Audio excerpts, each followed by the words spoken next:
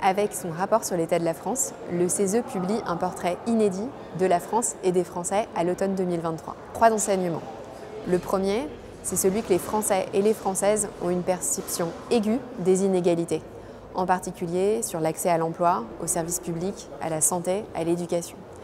Et la cause première des inégalités en France, c'est le lieu de résidence, urbain, rural, centre-ville, banlieue. Un deuxième enseignement du rapport, c'est le fait que pour un Français sur deux, le pouvoir d'achat ne permet pas de répondre à ses besoins essentiels ou il répond tout juste. Et la question que s'est posée le CESE, c'est de savoir quel niveau de vie décent on peut avoir en France selon que l'on habite dans les territoires ruraux, urbains, en banlieue, en centre-ville. Le troisième enseignement de ce rapport, c'est l'éco-anxiété. On a 80% des Français qui se disent inquiets face au réchauffement climatique et surtout frustrés devant le passage à l'action. Alors maintenant, quelle est la possibilité pour le CESE d'agir et comment est-ce que les pouvoirs publics vont pouvoir se saisir de ce rapport pour pouvoir se mettre à l'action? Ça va être tout l'enjeu des prochaines années.